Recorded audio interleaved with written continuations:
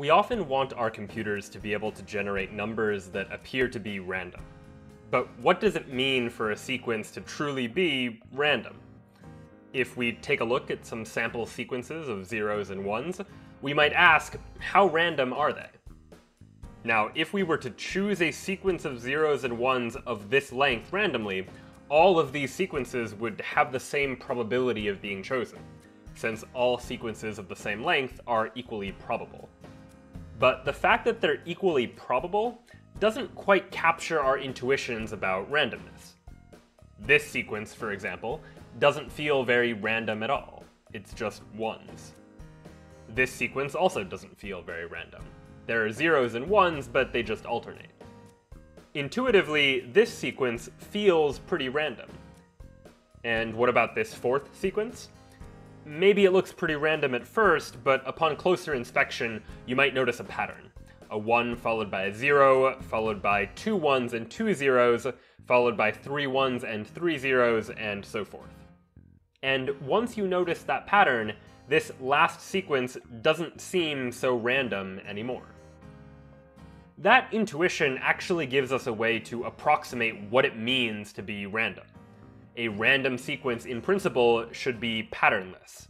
We shouldn't be able to identify regularities like all ones, or consistent alternation, or growing runs of consecutive zeros and ones, or even less obvious patterns that might be harder to find.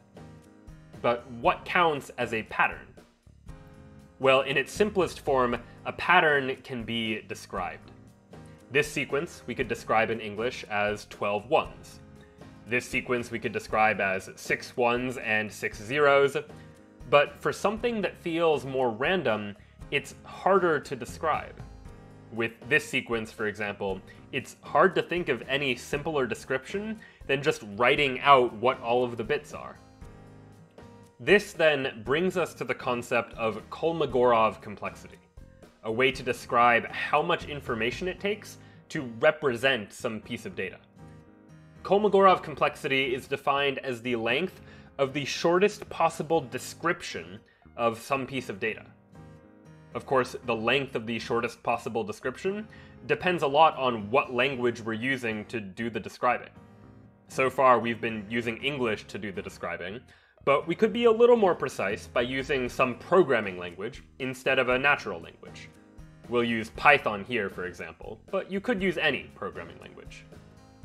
The question of Kolmogorov complexity now becomes a question of what's the shortest way you could write a Python expression that evaluates to the sequence in question? With all ones, the description is pretty short. We can just multiply the string 1 by some number. Alternating zeros and ones isn't much harder.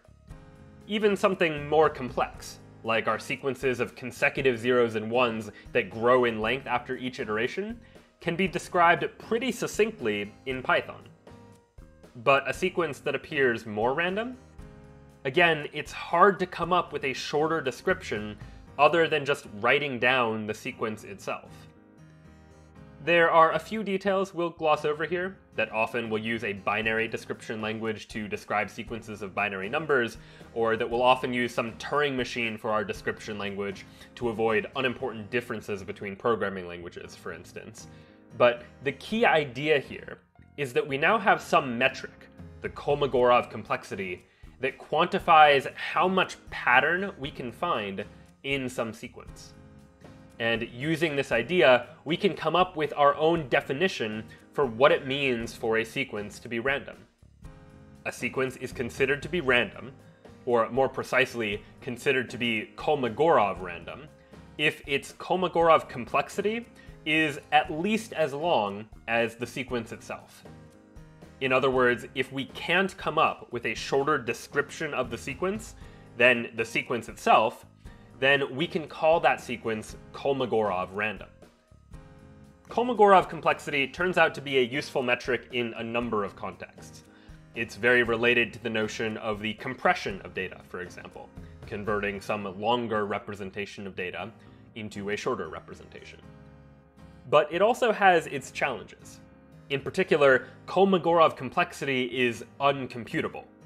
which means not only is there no existing function that can take any sequence and determine its Kolmogorov complexity, it's been proven to be impossible for such a function to exist at all.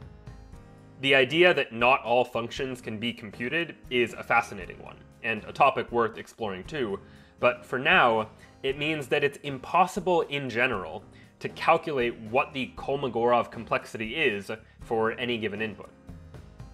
But Kolmogorov randomness isn't the only way to define what it means for a sequence to be random. How would you define randomness? What does it mean for some sequence to be patternless or unpredictable?